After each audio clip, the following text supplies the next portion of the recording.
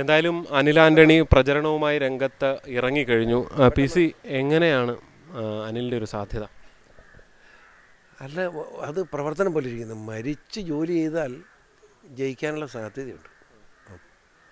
കാരണം എന്താണെന്ന് ചോദിച്ചാൽ മോദി ഫാക്ടറുണ്ട് കേരളം ഇന്ന് നാലര ലക്ഷം കോടി രൂപ കടത്തി കയറി മുടിഞ്ഞിരിക്കുക. അതായത് ഒരു വരെ നീ ഒരു ലക്ഷത്തി ഇരുപത്തെണ്ണായിരം കടവാ. നീ വല്ലതും കടവ മേടിച്ചോ? ഞാൻ ഒരു ലക്ഷത്തി ഇരുപത്തെണ്ണായിരം കടവാണ് ഇനി നീക്ക് നമ്മൾ ഓരോരുത്തരും ഒരു ലക്ഷത്തി ഇരുപത്തെണ്ണായിരം രൂപ കടവാണ് ഇത് പിണറായി വിജയൻ ഉണ്ടാക്കിയതല്ലേ? ആ കടത്തിന് മെയിൻ ഉത്തരവാദി ആരാ? ഐസക്കല്ലേ. ഈ ഐസക്കാ. പക്ഷെ അത് യു ഡി എഫിലേക്ക് പോകില്ലേ ആ ഒരു സാഹചര്യം? അത് അത് അത് വേറെ കാര്യം. അപ്പം അതിലേക്ക് ഞാൻ വരുന്നേ. അപ്പോൾ ആ കടമുണ്ടാക്കിയ ഐസക്കിന് ഇവിടെ എന്നാ കാര്യം എന്ന് ചോദിക്കും മനുഷ്യൻ. അതിന് ഐസക്കിന് ഇവിടെ ആലപ്പുഴക്കാരൻ ഇവിടെ എന്നാ കാര്യം എന്ന് ചോദിക്കല്ലേ? അതൊന്ന്.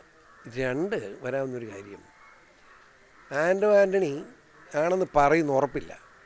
ആൻഡോ ആന്റണി ഇച്ചിരി മൈനസ് ഓട്ടമുണ്ട് മനസ്സിലായോ? ആ മൈനസ് ഓട്ട് ബി ജെ പിക്ക് പ്ലസ് ആവും. കാരണം മോദി ഫാക്ടർ ഇന്ത്യയെ നയിക്കുന്ന മോദി എന്ന നിലയിൽ പ്രധാന അങ്ങേരെ ബഹുമാനമാണ് ജനങ്ങൾക്ക് മുഴുവൻ. മുഴുവൻ മനുഷ്യർ അദ്ദേഹത്തെ ബഹുമാനിക്കുന്നുണ്ട്.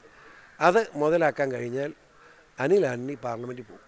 ബി- ഈ ക്രൈസ്തവർക്കൊക്കെ വേണ്ടി കഴിഞ്ഞ കുറേ കാലമായി താങ്കൾ പല സമരരംഗത്തൊക്കെ ശക്തമായി നിൽക്കുന്നുണ്ട്. അപ്പോൾ താങ്കളെ പോലൊരാൾ അല്ലെങ്കിൽ ശബരിമല വിഷയത്തിന് വേണ്ടി നിന്ന് ഒരാളെ മാറ്റിയപ്പോൾ ഈ പല പ്രവർത്തകരുടെയും ഫേസ്ബുക്ക് പോസ്റ്റിലൊക്കെ അതാണ് മനസ്സിലാകുന്നത് ആ വികാരം അനിൽ ആന്റണിക്ക് തിരിച്ചടിയാകില്ലേ?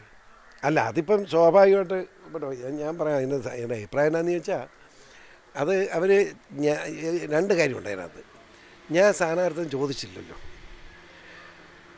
വെച്ചാൽ ഇവിടുത്തെ ഈ ഏഴ് നിയോജകമണ്ഡലത്തെയും പ്രവർത്തകരുടെ ആർ എസ് എസിന്റെയും ബി ജെ പിയുടെയും പ്രവർത്തകരുടെ അഭിപ്രായം ചോദിച്ചു പി സി ഓറി മതി എന്ന് പറഞ്ഞു.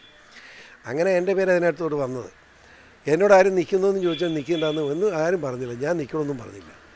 അവർ ആലോചിച്ചിട്ട് അതിനെ സ്ഥാനാർത്ഥി ഇട്ട് വെക്കുക ഞാൻ പിന്തുണ കൊടുക്കുന്നത് അല്ലാതെ അതിനകത്ത് എനിക്ക് അതിനകത്തൊരു മാനസിക വിഷമവും അങ്ങനെയുള്ള പ്രശ്നമൊന്നുമില്ല ബി ജെ പിയിൽ എത്തിയ ശേഷം ഇങ്ങനെ പെട്ടെന്നൊരു പല ചർച്ചകളിലും വരുന്നു. അതിൽ നിന്ന് പേര് മാറുമ്പോൾ ഒരു മാനസിക വിഷമം സ്വാഭാവികമായിട്ടും ഉണ്ടാവില്ലേ?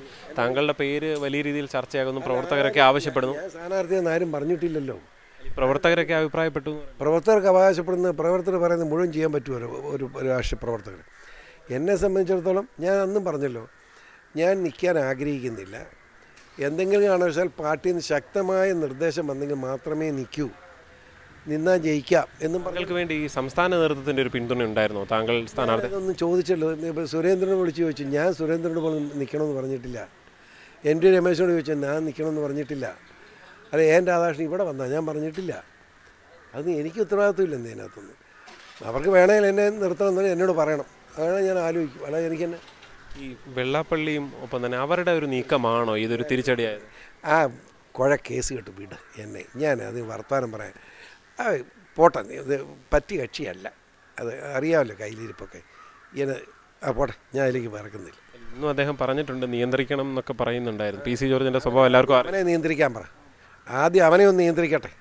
അത് കഴിഞ്ഞ് അവൻ അവനെ അപ്പനെ നിയന്ത്രിക്കട്ടെ. അത് കഴിഞ്ഞ് അവൻ എന്നെ നിയന്ത്രിക്കാൻ പറ്റട്ടെ ഈ കോട്ടയത്ത് ബി ഡി ജെ എസ് മത്സരിക്കുന്നത് എന്താണ് സാധ്യത? എനിക്കറിയത്തില്ല. എന്നോട് പറഞ്ഞിട്ടില്ല ഈ നിമിഷം വരെ പറഞ്ഞിട്ടില്ല. സീറ്റ് വന്നില്ല. പക്ഷെ പാർട്ടിയിൽ ഒരു അർഹമായ സ്ഥാനം ഇനിയെങ്കിലും ഉണ്ടാകുമെന്ന് പ്രതീക്ഷിക്കുന്നുണ്ടോ? എനിക്കോ? ഇതൊന്നും എനിക്ക് പ്രശ്നമല്ലെന്ന് ചുമ്മാ എന്തിനാണ് ആ കാര്യം നീ ചോദിക്കുക? വേറെ പല കാര്യം ചോദ്യമാനെ അതൊന്നും എനിക്ക് പ്രശ്നമല്ലെന്ന്. പത്തനംതിട്ട കേന്ദ്രീകരിച്ച് തന്നെയായിരിക്കും ലോക്സഭാ തെരഞ്ഞെടുപ്പിലെ പ്രചരണം? ഇവിടെ കേരളം കേന്ദ്രീകരിച്ചായിരിക്കും. കേരളം. ഞാൻ പത്തനംതിട്ട നിൽക്കേണ്ടവനല്ലല്ലോ. കേരളം മുഴുവനായിട്ട് നോക്കും.